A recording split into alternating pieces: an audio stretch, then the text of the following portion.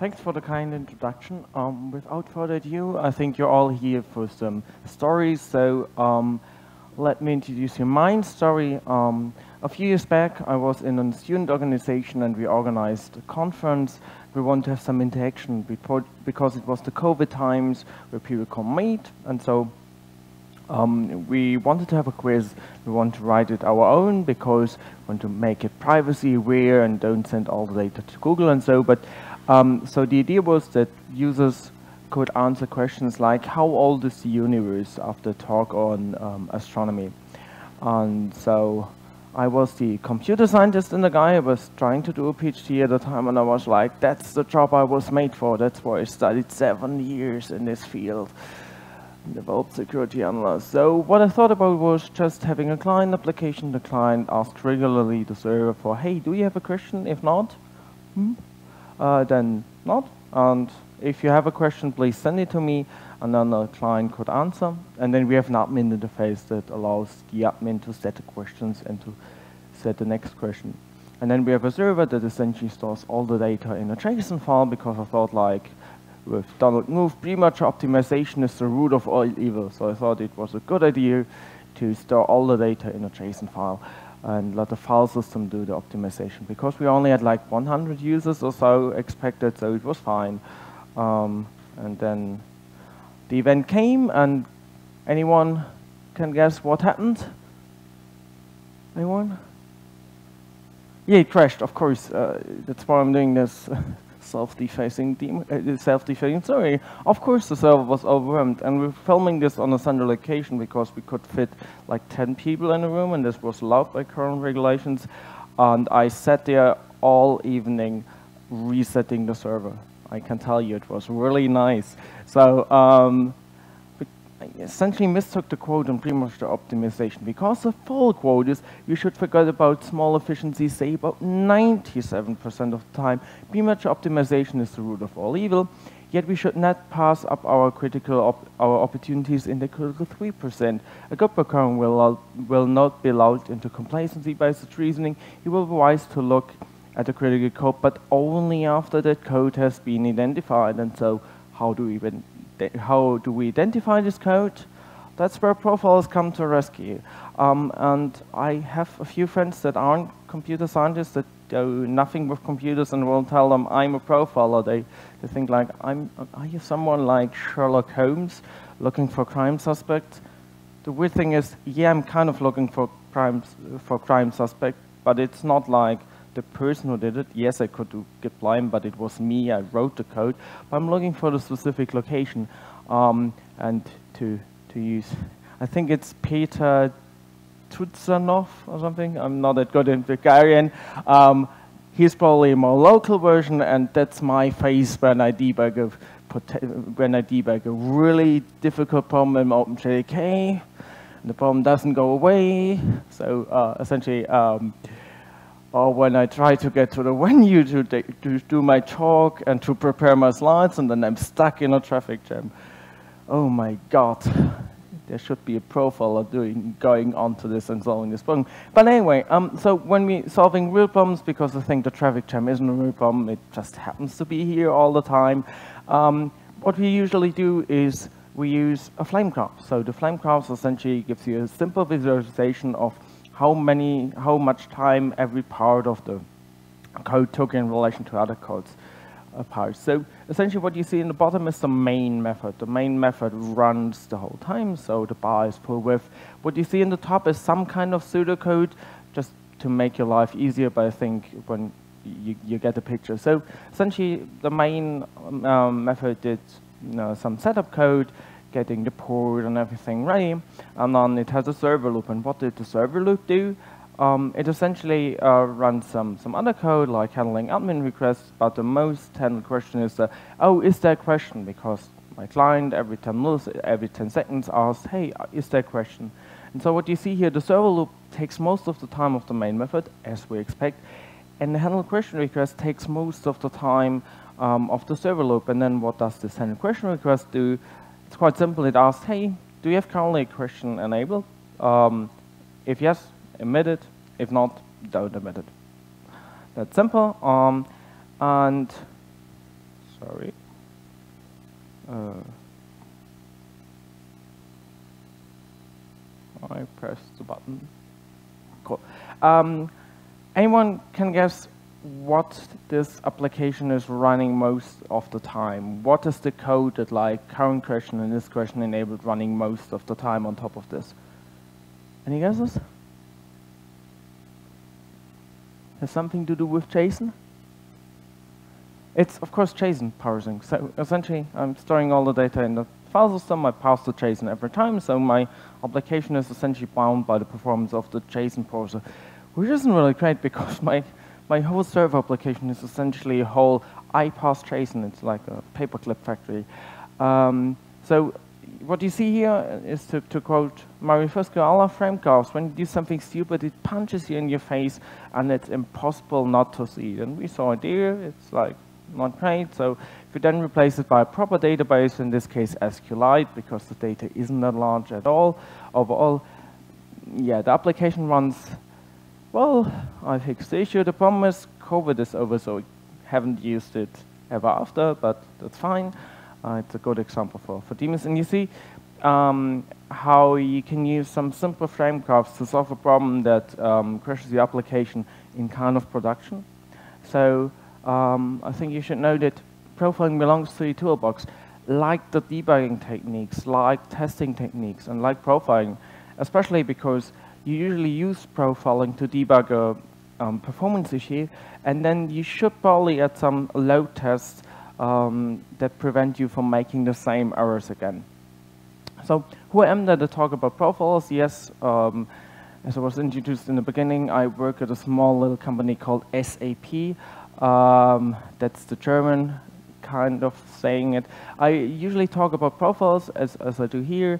Um, I work at the beautiful SapMachine team. We're a little team. Uh, we're the third biggest contributor to the OpenJDK. Um, we produce such nice things as the better null pointer exceptions or um, maintain all the versions of Java. If you want to have stickers, they are here, and you probably find um, few at the SAP booth back there. Um, our team that work in um, works also on Gardener. Um, we're doing lots of Q&A stuff, lots of cool stuff. And the, the office, I was there yesterday uh, to give a talk there. The SAP office has a really nice rooftop terrace. If you have the chance to go there, go there. It's really nice. And I like your mountains. I hope I have enough time tomorrow to merge them. Anyway, um, when I don't travel, I work on profiling stuff um, and help you make the world better by adding new profiling features. Um, so now that I that you know a bit about me, um, how about you? Who of you used the profiler? Yay, cool. It rises every time I give the talk. Maybe it's because of me or because people notice that profiling is really cool. Anyway, so when JetBrains asked the people in 2022, they, they got a similar survey result so that's nice. Um, for those of you who don't uh, know profiling, uh, what it is, uh, I search for a short description, and I found it in the Hackers Dictionary from the 1990s. So they write that um, the profile itself, so the thing that you generate, is a report on the amounts of time spent in each routine of a program used to find and generate the hotspot in, the hotspots in it. So that's essentially what we do. We try to find issues and use the and and use the results of the profiling to um, make our application more performant, which is really nice. So um, after this, you might you might uh, wonder whether there are profiles existing, so or whether do we have to write our own? But yes, there are existing profiles, and they fall in two different categories essentially. We have instrumenting profiles. So um, for one, we have instrumenting profiles that insert instructions into the code automatically. So consider this code here. We have the server loop, as you've seen before, and an easy way to see how long this server loop took is at the beginning, we take the time, for example, system the current time is. At the end, we print the time difference, and that's fine. Um, it works. It shows us, oh, server loop took like 10 seconds or such. But how can we automate this? That's quite easy. We essentially insert bytecode or instrumentation um, that, the being, that at the beginning says, oh, I'm entering this method, and then the end, it says, oh, I'm exiting, and so you can uh, collate these two and then see the end, oh, these methods took so much time, and it's really cool because you're getting every method execution. Um, the main problem is um, the profile code isn't your production code. So when you profile the code, you're modifying this code. And just-in-time compilers hate you for this because that's new code in, so that's probably because many Java methods shouldn't be too large. It's probably a substantial part of the Java code running in every method is just logging code. And so when you're not profiling the code that you're running in production or running Relay, so what's the, what's the meaning of the profiling uh? So um, here it's, it still has its merits. For example, you see every execution and you get a pretty detailed pictures, but that's well, not that great. So um, people started then in the 1990s develop sampling profilers. So the idea with sampling profiles is instead of getting like an exact picture but modifying the code, we get a rough picture, but it's good enough and it's far faster. So what sampling profile does, it asks the JVM regularly like, hey, what are you currently executing? What are you currently executing? And so on. And usually asks this like every 10 to 20 milliseconds, and we get a rough picture because here um, the, the profile code is the production code because we're externally asking the JVM. Um, of course, it only gets, uh, gets you an approximation, but that's usually not a problem. We don't usually care about methods that only like ran for 10 milliseconds, but we usually care for methods that took a long time. And so this is the way that most current um, profiles work, and that also most current uh, monitoring tools, or other tools um, work. Uh, and that's why I'm focusing here in this talk. So um, after you heard this, you probably think that profiles are rocket science, but they aren't, and so that's what I thought too. And so, so like, how can I tell people that they aren't rocket science? Um, I started to write my own in like uh, some lines of Java code, and I wrote a blog post about it, and people liked it. And if I'm honest, uh, in my initial blog post, it was like I write it in 204 lines of pure Java code. The problem was people on Hacker News found that I had concurrency issues because concurrency is hard. Um, so it's 250 lines, so yeah. Um, that's how it goes. Um, even small applications can have terrible um, uh, problems with concurrency. Um, but anyway, so how is, uh, how is the product structure of this? You essentially have a main class that does all the um, CLI handling, that does all the handling of the arguments. Then you have then this main class starts a profile. And what does the profile does? It samples and asks JVM, hey, what are you currently doing? Then it sleeps, then it samples, then it sleeps um, to get like an approximation. And then uh, what does it do? It stores all the data in a data store. And from this data store, um, we then get a flame graph. So I'm now going to show you all different parts of this. So for one, when we, the, when we have a main method, um, we want to have an entry point somewhere. We can't use the standard Java main method because it's only for like command line applications. Um, but what we instead have, we, we call this agent, we attach this agent with minus Java agent, and then we have some agent args at the end. So there are two times when we can attach an agent. We can attach it in the beginning, like here, all items, so we have two different methods. For one, we have the agent main method that's called whenever you attach it later.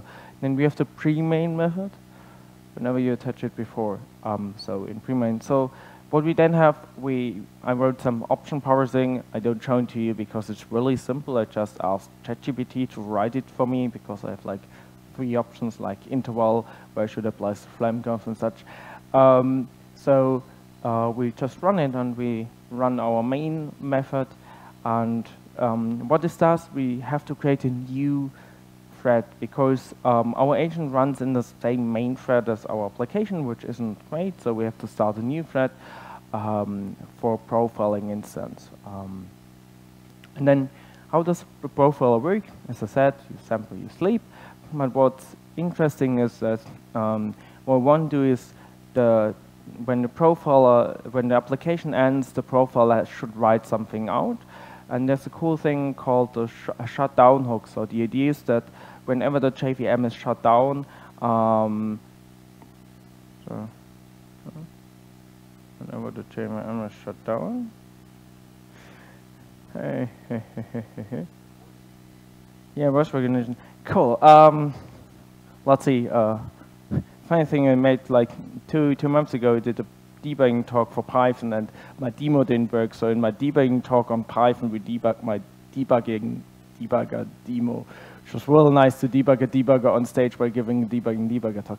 Anyway, um, I also profile the profiler if you wanna. Yes, it's really nice. Uh, your mind doesn't crash. Um, no, it's like Inception, and you take the red pill, and it gives you a flame graph. Anyway, um, so essentially the ad shown the, the ad hook um, calls essentially profile on end, just writes down everything, and but we also have, when you write such code, you also have to be aware that um, you can't add this hook in the profile constructor because in the profile constructor, um, the object might be not might not be fully initialized. So when you use the things with, with these hooks, be aware that Java can sometimes be mess and that uh, uh, then that implementing potentially parallel algorithms is, is hard. If you want to know more, I think there was the Lincheck talk yesterday, which was real nice and showing you what else can go wrong. But anyway, um, that worked here after people on Hacker News told it to me how it should work. Um, so anyway, um, what the sample method does, I think I don't have to tell you how sleep works. You just call thread sleep.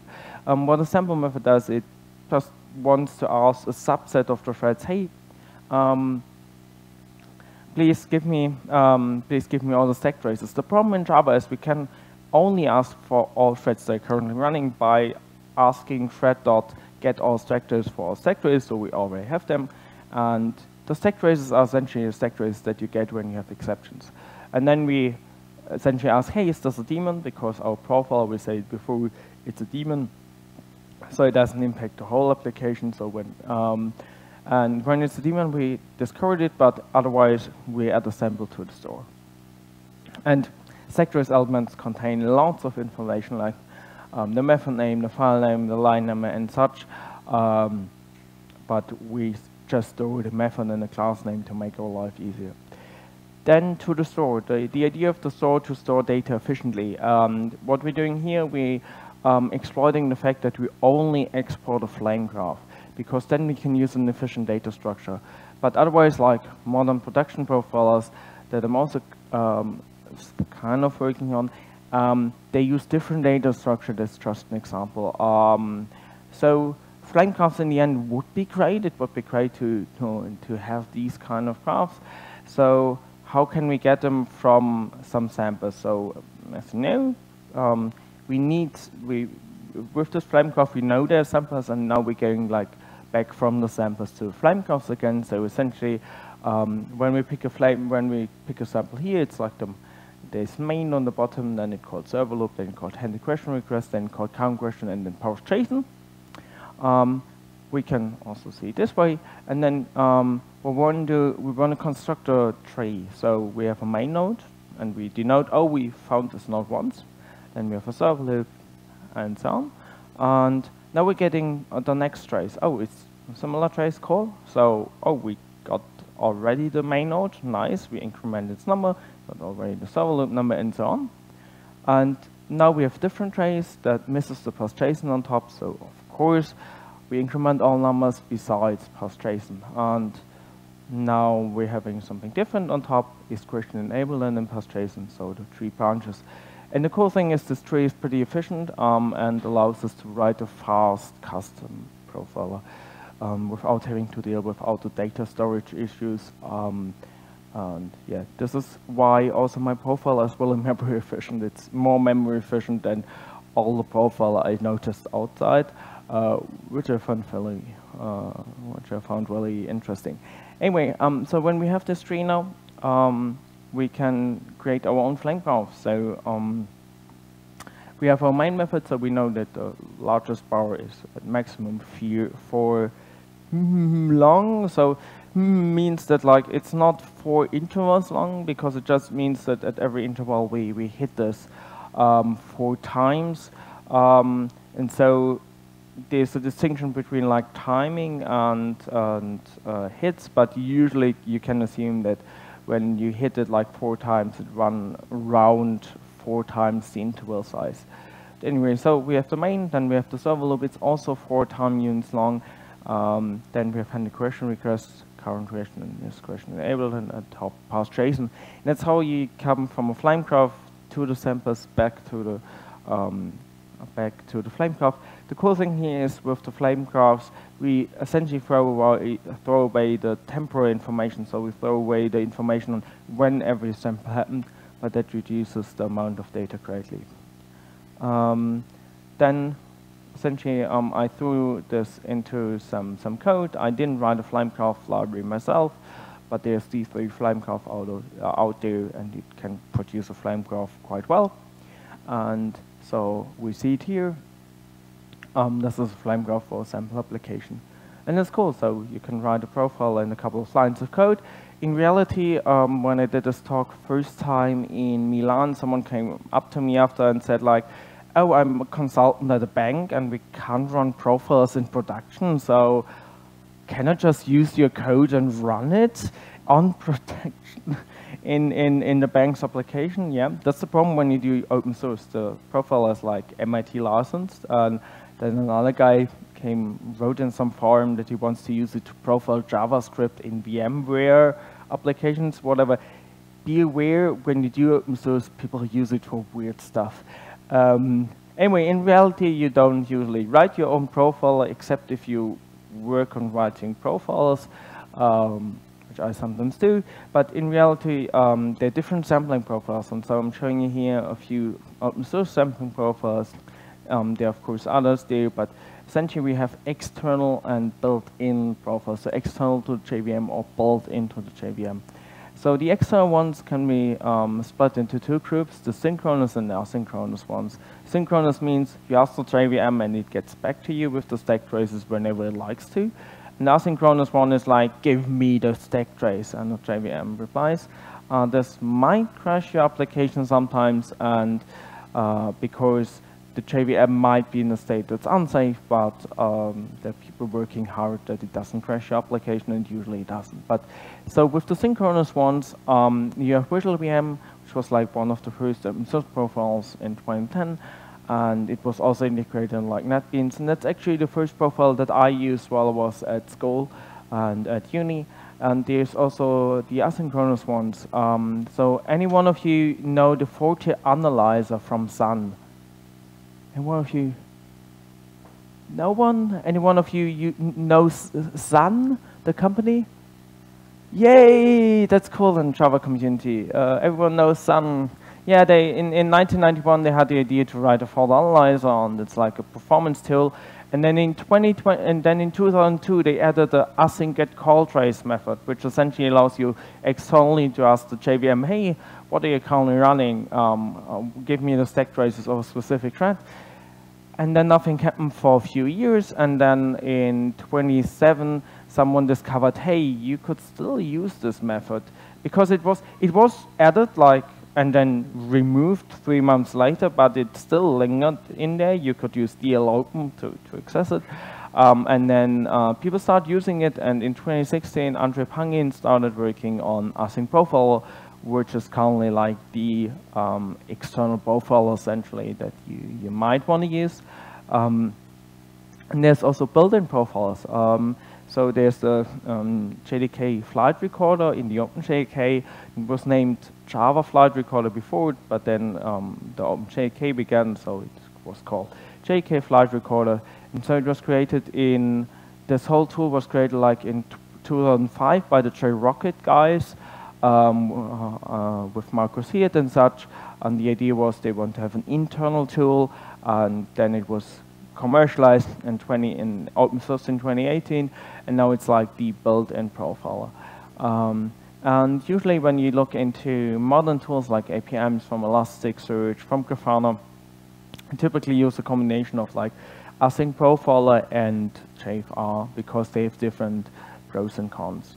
And that's the cool thing about open source. You can just merge code and take both sides and take the best of all. But please take profiles with a grain of salt. Um, yes, and this is the first time it happened ever to me at a presentation, but that's cool. Yeah, take profiles like grain of salt, like Beamers. I shouldn't have pressed from the start. Good. Um, good, I only have like 60 slides in my presentation. So take profiles with a grain of salt because as you see, um, even presentation softwares and beamers that run here for a long time don't work that well sometimes. And that's the same thing with profiles. Profiles are written by people like me, and you shouldn't trust me with that much because like profiling is really hard. You have so many issues, you can crash your JVM, and it's really hard to also obtain the correct information because your JVM is really complex. There's a just-in-time compiler that likes to optimize things, but it makes it really hard to know what's currently happening. Um, so please take them with a grain of salt and don't think that the profiles are like current truth, but take it as a base for your um, for your for your checks for your debugging tasks. Um, so, but if you want to use a profile and, and not want to create your own, you probably wonder how you use async profile in JFR and to know more. So async profile is the profile um, that I usually use, and what you can do, you can just pass it as before.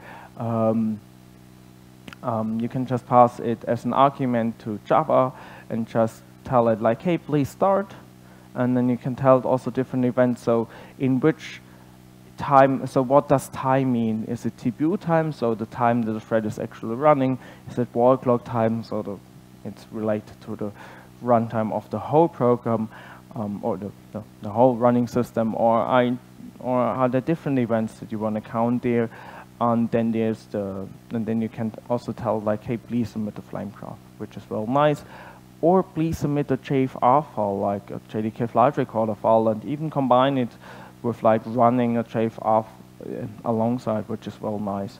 And um, then there's the JDK flight recorder. And the cool thing is that's included in your JDK because it's the built-in one. And um, contrary to async profiler, which only really works on Linux, this also works on all pl other platforms. But if we're honest, I'm working on like uh, OpenJDK for two and a half years now, and I can tell you most of our customers are just running on Linux. Um, and that's why when we, I'm currently working on a new profiling feature also for JFR, and we're only focusing on Linux because that's good enough.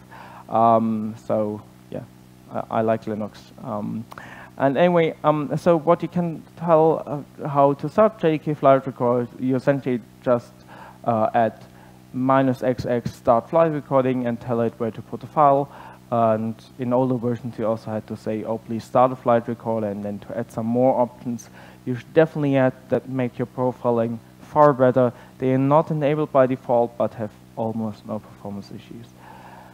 And also you can attach it, of course, later um, just via J command, which is well nice. Um, you can't you can attach async profile later, but there are problems because like attaching native agents nowadays um, is a bit more difficult.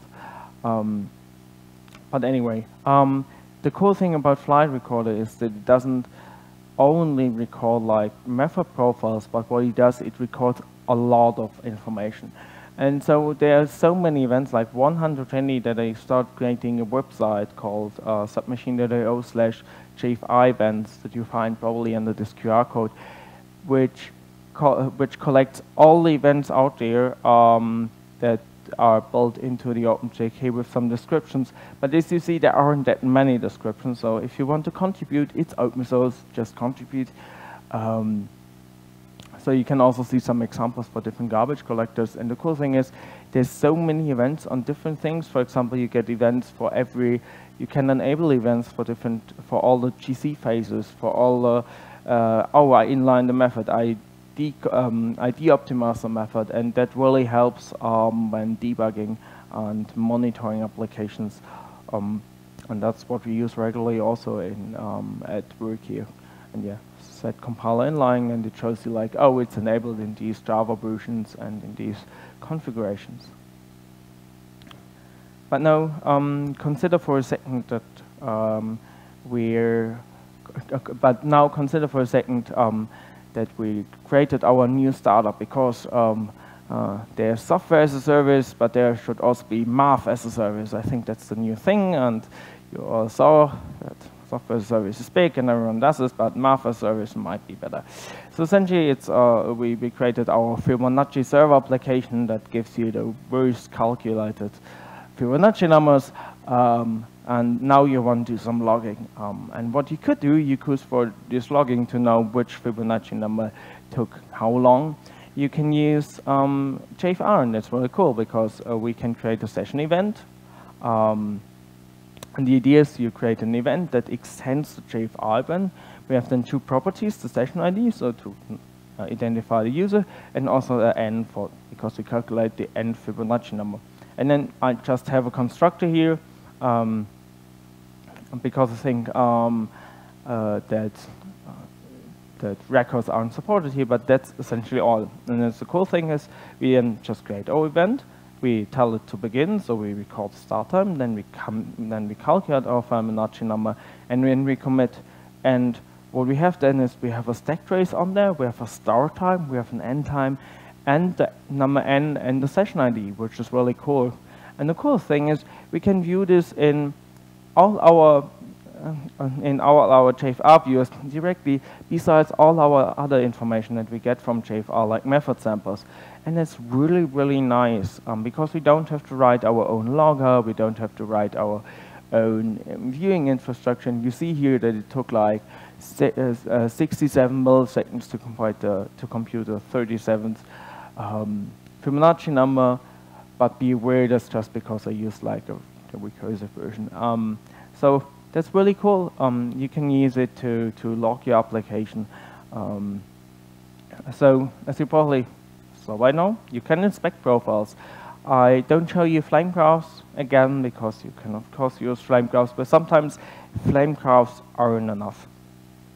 Sometimes you want something more. And in this case, um, you can uh, you can take the official OpenJDK tool, and that's the JDK Mission Control, sh um, short JMC.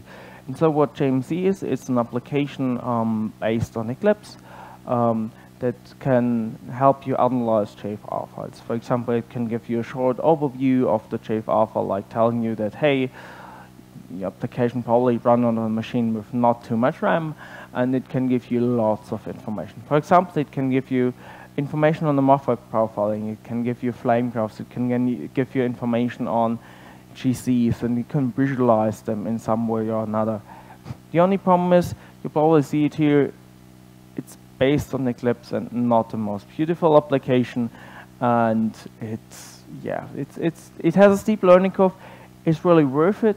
It's when, when you want to do lots of profiling in Java, it's worth it to learn it, but it takes you a couple of days. And um, so um, I was uh, then uh, one and a half years ago was the same situation where I wanted to profile stuff, and the problem was, yeah, I got to this and was like, mm, there should be a better way, but there wasn't any better way in the open source world, and so um, I asked my boss, hey, can I work on this? And it was like, yes, because also with our stakeholders were like, we don't want to use these, so um, we, I worked on um, uh, the first open source profiling plugin for IntelliJ.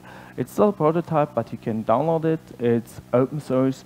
Um, you can get it from the JetBrains Marketplace and, and just run it. And the cool thing is, when you have, for example, a main method, you can just, when you install it, you can just right-click and tell it, oh, please profile this application with JFR, or profile it with async profiler. Now we're, profiling it with JFR, and then it profiles it, and then opens the view. And if someone finds it familiar, it's essentially Firefox profiler, just extended, um, so it works for our use case here. And so you get the, the, the tree, the, the method tree. You can also double click on it, and it shows, and it goes back to the code and you can shift double click and it shows you which lines are hit how many times. And so it has tight integration with your, uh, with your IDE. And you can also get flame graphs. You see here the Fibonacci numbers really recursive. And it shows you directly, oh, this method was JIT compiled most of the, ran JIT compiled most of the time. And you can also see all the events. Um, yes, end up being my life. That's computers Anyone wonders why they didn't start a bakery? Um, I think yeah, now it, now it works again. Consider you, you, you starting a bakery, you just bake bread and it smells delicious and we're sitting here. It's, it's nice outside, why are you here? No, um, because jPrime is a well nice conference. Uh, so that's why we are all here. Um, that's why I came from, from Karlsruhe to show you this. And I think um, sometimes computers make me mad, but then we develop nice applications like this, and then we're like, cool, and, and now the Beamer works hopefully for the rest of my presentation. Anyway, um, you might wonder what the impact of profiling on your performance is. The impact is kind of there. Um, so JFR with a reduced setting, it's like typically below 2%. And when you increase the amount of data that you're recording, of course, the performance impact increases. But of course, also the data, uh, the amount of data that you get increases. And funnily enough, the JFR file format might not be the most efficient. Um, that's what I'm currently working on too. Um, so it might help to just compress the JFR files afterwards. But anyway, the performance impact is usually negligible, but the problem is you can't say it for every application. It really depends on the applications, on how many cores you have, how many memory, on how much memory you have in the specific configuration. So what I would recommend, test your profiling tools before on a small system before going to a larger system where you might have strains. And a thing that many people ask me when, I, when I'm doing this presentation was like, but what about continuous profiling? So profiling along the way. If I'm honest, that's not what I'm working on, so I have limited experience, but um, um, an easy way uh, to continuously profile is just to ask async profiler, hey, please um, give me a profile of this JVM every like minute, and then you can also tell like, but please store only like the 10 last um, JFR files, and so you get some kind of continuous profile. So when you have a problem, you can just take the profile from the specific time. Then there's of course tools like Pyroscope, um, which is really cool because essentially you have an agent running in your JVM, an application performance monitor, that sends back the data to Pyroscope, which is an open source application which then shows you the flame graphs and such. And there are also many, many more. There's, for example, Jaeger and, and other tools, and also commercial tools um, that you can use for this. So, to conclude, um, uh, I think um, the profiling tools belong should really belong to your toolbox because you shouldn't start profiling when you're in when you're in the evening sitting in your uh, sitting at your organization being like why doesn't this work? Have to restart it every minute. Um, that's not the point where you should start learning profile tool it's, it's like you should start it essentially now after my talk to learn about these tools. And you hear my talk which is a good start um, as well as you should start learning how to debug and how to write tests to prevent these issues from coming up in the first place. Um, and for any reason, that's like what Montreal looks in the winter. Um, I don't know where it is there, but anyway, um, when you want to see other stuff of me and when you want to see um, where, where I give my next presentations, you can head on Twitter or Mastodon to parttimenerd. Um, you find me on GitHub. Um, you find my blog where I write every two weeks on topic usually related to Java, eBPF, profiling, debugging at mostlynerdless.de. Um, and the, my team, you can find it under its with SapMachine, and you can find our website is sapmachine.io where we post all the cool stuff that we're doing. Um, and yeah, uh, thanks for having me, and thanks to J Prime for flying me in, for giving me the opportunity to visit Sofia for the first time. Despite all the traffic jams, your your city center is really nice. Like being in church it's like 1,700 years old is really awesome, and the bakeries that you have here. So um, uh, thanks for, for being here. Thanks for not being um, at a different talk and uh, to show my boss that I'm actually working. That's always the problem. I'm doing presentations and I'm like, uh, cheers. Woo. Thank you.